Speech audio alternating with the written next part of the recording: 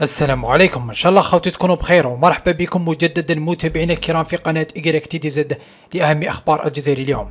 اليوم متابعينا لدينا لكم أخبار في غاية القوة والأهمية وكما ترون في هذا الخبر الذي يتحدث عن مجال الطاقة في الجزائر واللي نشرته مجلة الطاقة. هذه مجلة الطاقة متابعينا الكرام تعتبر أحد أشهر وأقوى المجلات في العالم العربي واللي تعطيك كامل التفاصيل والإحصائيات المتعلقة بمجال الطاقة. وتنشر هذا الخبر متابعينا وبعنوان ارتفاع صادرات الجزائر من النفط في الربع الأول وهؤلاء أبرز المستوردين يعني متابعينا الكرام. في هذه المقالة راح نشوف مع بعض من هي الدول التي استوردت الغاز والنفط بشكل كبير من الجزائر منذ بداية سنة 2024 أيضا متابعيني الكرام هذه المجلة كشفت لنا صادرات الجزائر في آخر ثلاث سنوات يعني من سنة 2022 وسنة 2023 إلى غاية 2024 يعني الموضوع مهم متابعينا الكرام لأن هناك الجزائر تشهد قفزة ممتازة لصادراتها في مجال الطاقة لسنة 2024 فابقوا معنا متابعينا الكرام لمعرفة تفاصيل. أما في خبر آخر متابعينا هناك خبر مهم جدا يقول بأن هناك دول حول العالم تتبع خطوات الجزائر فيما يخص بحملة مقاطعات المنتجات الغربية التي تدعم الكيان كما تعلمون متابعين قامت الجزائر مؤخرا بغلق محل KFC الأمريكي الذي يقدم مأكولات سريعة في أول ثلاثة أيام من افتتاحه في الجزائر. وهذا الخبر متابعين غطته عدة قنوات ومواقع عالمية. الآن متابعين الكرام هناك عدة دول تحذو حذوات الجزائر وتقوم بغلق الآلاف من هذه المحلات في بلدانهم.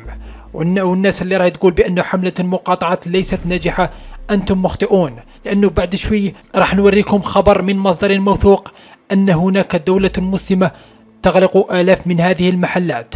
فابقوا معنا متابعينا الكرام لمعرفة التفاصيل.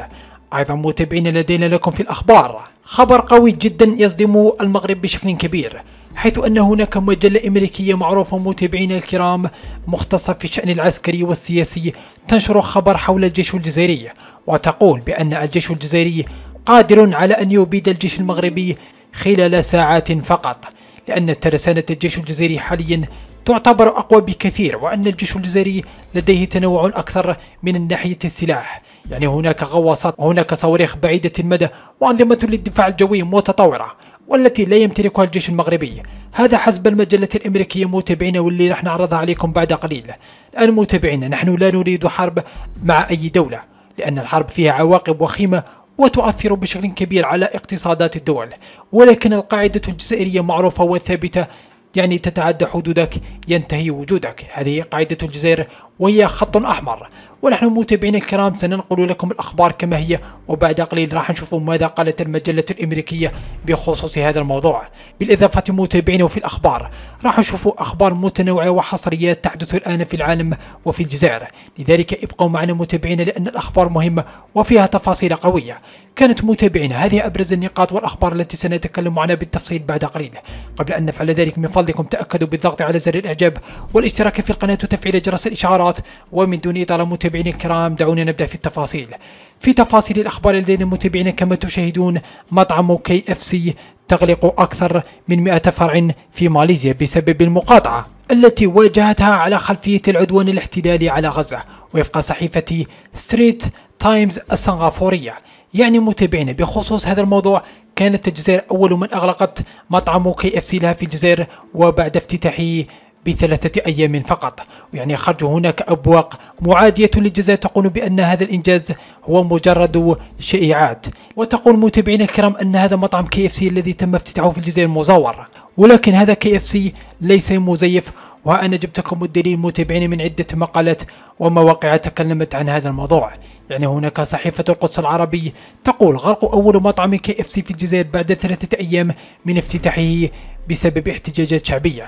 أيضا متابعين هناك الجزيرة قال تكلمت عن هذا الموضوع وقالت الجزائريون ينجحون بإزالة شعار مطعم كنتاكي وهذا ردا متابعين على الشائعات التي تقول بأن هذا المطعم الذي تم افتتاحه في الجزائر مزيف.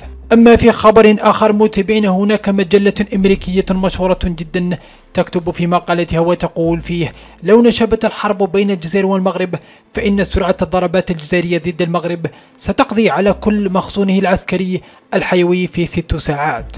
يعني تخيلوا متابعينا كما على بالكم الولايات المتحدة الأمريكية لديها أقوى جيش في العالم وتقول وهي خبيرة جدا في المسائل العسكرية والسياسية وتحلل وتقول بأن الجيش الجزائري قادر على أن يستنفذ جميع ذخائر الجيش المغربي خلال ست ساعات فقط.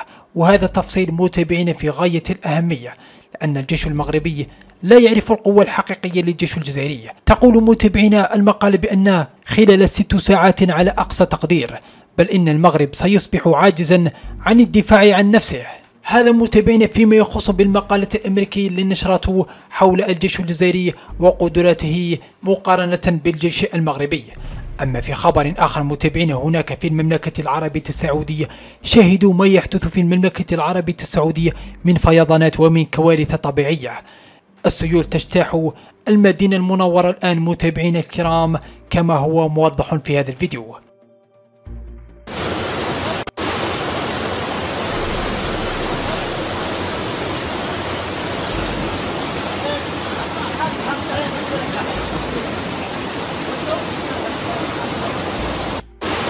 هناك فيديو آخر متابعين ومن زاوية أخرى في المدينة المنورة. فنسأل الله أن يحفظ إخواننا في المملكة العربية السعودية ويحفظ جميع المسلمين حول العالم. يا محمد أنا والله العظيم خايف خايف. أوه. أوه ربي. أنا سعيد السيارة سعيد السيارة سعيد السيارة. في آخر التطورات متابعين فيما يخص بالقوات الجوية الجزائرية متابعين الكرام كما تشاهدون في هذا الفيديو. أطقم طائرة إطفاء الحرائق بريف بي 200 تواصل تدريب المكثف بسد بني هارون في ولاية ميلا من أجل إطفاء الحرائق ومن أجل أن تكون القوات الجوية الجزائرية جاهزة في فصل الصيف.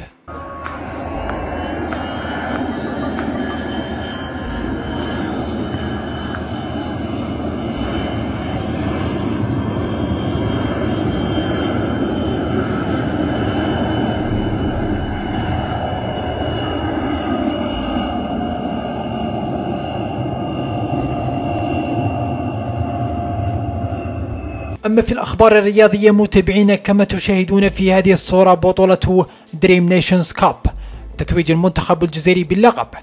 مشوار المنتخب الجزائري في الدورة متابعين فاز المنتخب الجزائري على المكسيك 8-0 ثم تأهل إلى الدور التالي وفاز على أرمينيا بأربعة ثلاثة.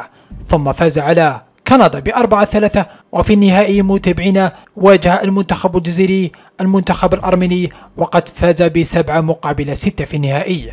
فمبروك للمنتخب الجزائري والمزيد من النجاحات في الرياضة الجزائرية إن شاء الله. والآن متابعينا الكرام دعونا ننتقل إلى الخبر الآخر. دعونا نعرف ما قالته مجلة الطاقة فيما يخص بارتفاع صادرات الجزائر من النفط في الربع الأول. حيث متابعين كما تشاهدون في هذا الجدول الذي يوضح صادرات الجزائر من النفط الخام والمكثفات في الربع الأول من سنة 2024 و2023 و2022 حيث ارتفعت صادرات الجزائر من النفط الخام والمكثفات خلال الربع الأول من سنة 2024 بنسبة 2% تقريبا على أساس سنوي مع استحواذ الدول الأوروبية على غالبية الشحنات وفق بيانات حديثة جمعتها وحدة أبحاث الطاقة. وبلغ المتوسط صادرات النفط الجزائري 430.97 ألف برميل يوميا خلال الأشهر الثلاثة المنتهية في مارس أذار 2024 مقابل 223.68 ألف برميل يوميا خلال المدة نفسها من سنة 2023 وعند المقارنة مع أرقام الربع الأول من عام 2022 البالغة 227.83 ألف برميل يوميا فإن الصادرات الجزائر من النفط الخام والمكثفات تعد مرتفعة بنسبة 0.7% أو ما يعادل أكثر من 3000 برميل يوميا وفق حسابات وحدة أبحاث الطاقة ومقرها في واشنطن.